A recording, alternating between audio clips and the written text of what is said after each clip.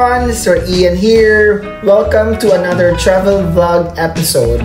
For today's adventure, pupunta tayo sa Subic, Zambales. Mag-staycation tayo doon and I'll give you details on what to expect sa hotel accommodation since we will be staying two different hotels over the weekend at kung ano ang pwedeng gawin or saan pwede kumain, mag-coffee, and the like. So please enjoy the vlog and let's start the fun under the sun.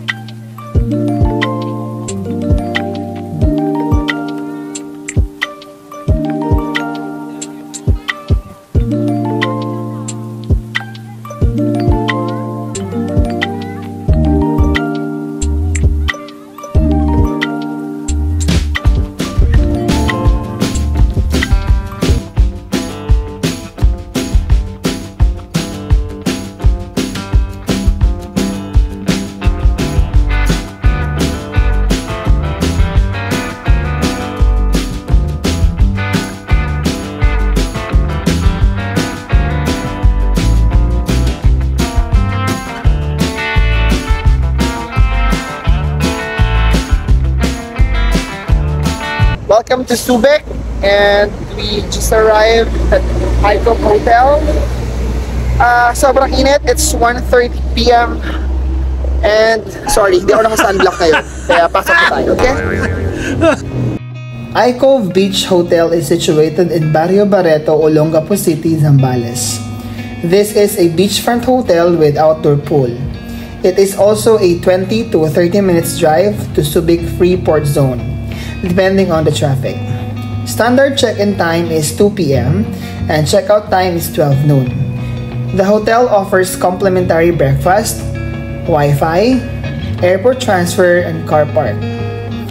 This accommodation cost 3,116 pesos and 92 cents for a standard room per night. After your check-in process at paglabas mo sa reception area, ito agad ang bubungad sa iyo. The refreshing vibe of greenery with sea breeze. It's so relaxing and such a perfect getaway from the hustle and bustle. The Icove Hotel is not that big, but it's already a perfect place for you to relax and enjoy your time. The outdoor pool is open from 7 a.m. to 10 p.m. And as you can see, the poolside area is their alfresco dining na din. But they also have a function room to accommodate those guests na ayaw sa alfresco setup.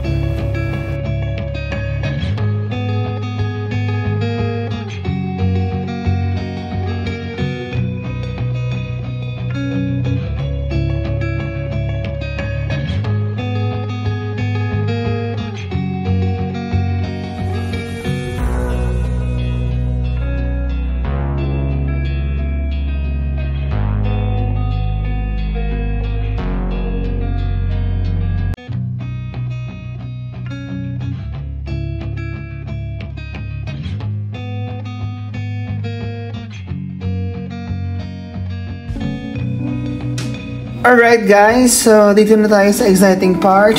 Char, magkakaalaman na. Emmy, room tour tayo. So, this is the standard room with, of course, the standard bed. Charot. The key card, patungo sa Lagusan. Hoy, para saan yun? Okay, para sa ilaw yan, besh, and all. Ayan, so, as you can see, the room is spacious naman at malinis with a complete hygiene kit of course, and toiletries at malaking salamin para makita mo yung pagkukulang mo sa sarili mo. Char! and of course, yung bathroom natin, plus points tayo dyan, may bidet yan. Okay? Mawala na lang lahat. Wag lang yan. Emi. so, yes guys, malinis yung bathroom and may hot and cold shower din. So, that's another plus point. So, yeah, overall, maganda yung room. Yeah. Okay. That's it for our room tour, guys. So, I hope nakatulong yon kahit papano sa mga pinagsasabi ko. Okay, so, tara, let's swim na. Okay, bye!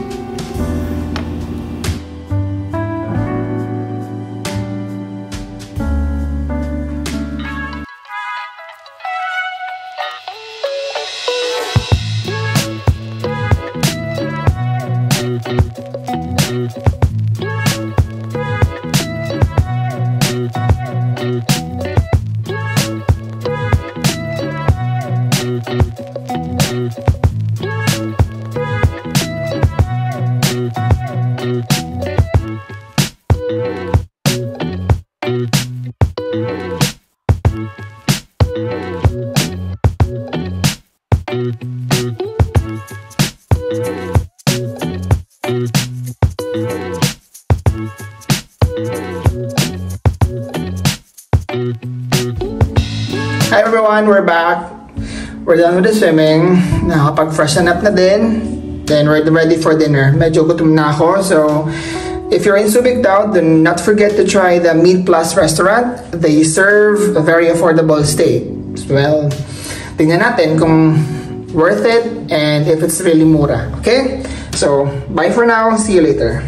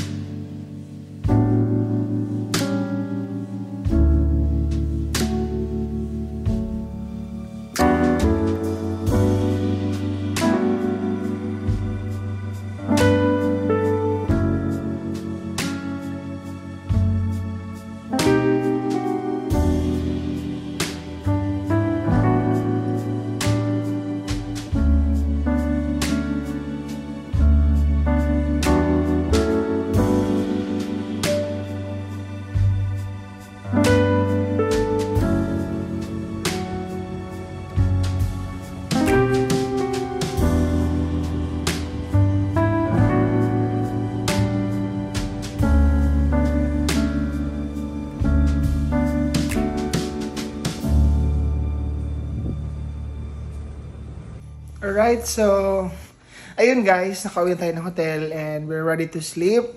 And let's continue this vlog tomorrow. Bye for now. Good night. The next day.